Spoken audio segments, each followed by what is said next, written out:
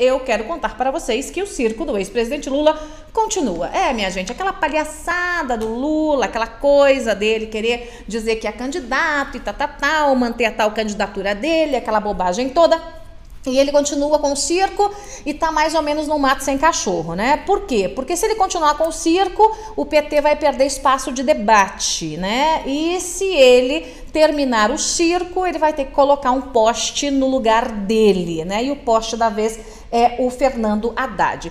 Os presidenciáveis todos já registraram uh, no TSE as candidaturas, menos o Lula, que anunciou através lá da militância Pão com Mortadela e também dos Esquerdinhas Caviar, que anunciou que quarta-feira, que é o prazo final, registrará a sua candidatura à presidência da República. Minha gente, vocês se lembram, quem me acompanha, quem me ouve há bastante tempo, já sabe, vocês foram os primeiros a saber, porque eu fui a primeira a falar qual seria a jogatina de Lula qual seria a jogatina de Lula para se manter candidato até os 48 do segundo tempo? Pois é, minha gente, qual que é a malandragem dele? É tentar, por A mais B, se manter candidatíssimo, só que não, mas se manter candidato nessa discussão, como se fosse de fato candidato até o dia 17 de setembro que é o último prazo, é o prazo limite para que haja troca de candidato, para que a legenda troque candidatos. Lula sabe que não pode ser candidato, ponto. É condenado, ponto. E ele vai ficar tentando todas as medidas possíveis e impossíveis dentro da justiça, e a nossa justiça a gente sabe bem o que é, né? Os tribunais superiores, TSE, essas coisas todas, ele vai tentar ficar procrastinando a candidatura dele, né? Até o dia 17 de setembro. Pelo menos esse era o plano inicial. Né? Por quê? Porque no dia 17 de setembro ele poderia substituir por um outro candidato do PT e já estaria a foto de Lula na urna. E não tem jeito de tirar, porque não dá tempo de 17 de setembro até o dia 7 de outubro espalhar urnas pelo Brasil todo. Então não dá, não tem como, não tem tempo hábil, né? Então esse era o plano aí do malandro Luiz Inácio Lula da Silva. Só se nossa justiça for totalmente inócua, não servir para absolutamente nada, é que esse plano vai dar certo.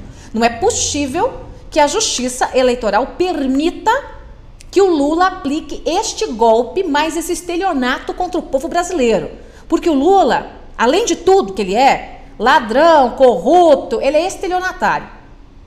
Ele rouba, ele aplica golpes. Esse é o modus operandi do Lula. E agora ele quer aplicar mais um golpe. É, ele quer enganar mais uma vez. Ele quer fazer mais uma malandragem, mais uma sacanagem, mais uma indecência. É o Lula, gente. É o Lula, gente, é o Lula, né? Então ele quer enganar o eleitor, aquele eleitor bem assim, desinformado, o eleitor mais coitadinho, sabe? O eleitor que tá lá nos rincões do país, o eleitor que não assiste jornal, o eleitor que não tem acesso aos meios de comunicação, não tem amplo acesso à internet. O eleitor que o PT gosta de fazer de voto de cabresto, sabe aquele eleitor? O eleitor que foi abandonado por todos, por todos. Vai lá, minha gente, interior do Maranhão, interior do Piauí, né? lá no interiorzão mesmo de Minas Gerais, Brasil afora. Vai nos rincões para você ver como tem gente abandonada por tudo e por todos. Essa gente que o PT manteve num bolsão de miséria. É essa gente que o PT quer enganar de novo. Enganar fazer com que essa gente acredite que Lula é candidato quando Lula não é candidato, não será candidato, não pode ser candidato porque está preso, condenado e ficha suja. Ponto. Então cabe à Justiça Eleitoral botar água na sopa do Lula imediatamente. Ou a Justiça Eleitoral vai permitir que o povo brasileiro seja enganado? Ou a Justiça Eleitoral vai permitir? Vamos lá, minha gente. A Justiça Eleitoral vai permitir que o povo brasileiro seja enganado dessa forma? Seja usurpado dessa forma, vai permitir esse estelionato eleitoral mais um feito pelo PT? Porque as eleições de 2014 já foram um amplo estelionato eleitoral, para quem quisesse ver. Lula está tentando, está tentando. E aí qual é o buziles? Né? O buziles que o PT está fazendo conta é o seguinte: enquanto eles ficam na farsa de Lula candidato, Lula candidato, o PT vai perdendo espaço, como perdeu espaço no primeiro debate da Band. Não estava lá né? Não tinha ninguém do PT, porque o candidato tá preso. Aliás, combina muito com o PT ter um candidato na cadeia, né? É, é sensacional, tem tudo a ver com o partido, tá, minha gente? Então, nós temos lá O PT perdendo espaço. Tem outro debate agora. Acho que o próximo é da Rede TV, se eu não me engano. Tem outro debate. Depois tem outro debate. Aí tem debate na Record, aí tem debate no Jovem Pan, aí tem debate no SBT. E aí? Aí o PT tá perdendo esse espaço todo.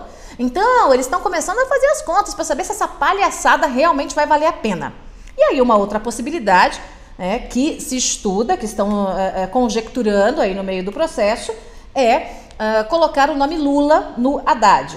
Né? É isso mesmo, gente, colocar o nome Lula no Haddad. Né? Seria uh, Haddad Lula da Silva. Haddad Lula da Silva. Né? Essa seria uh, uma possibilidade.